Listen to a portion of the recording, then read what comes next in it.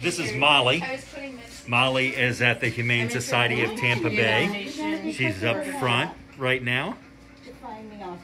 For information on all of our adoptable animals, you can go to our website at humanesocietytampa.org.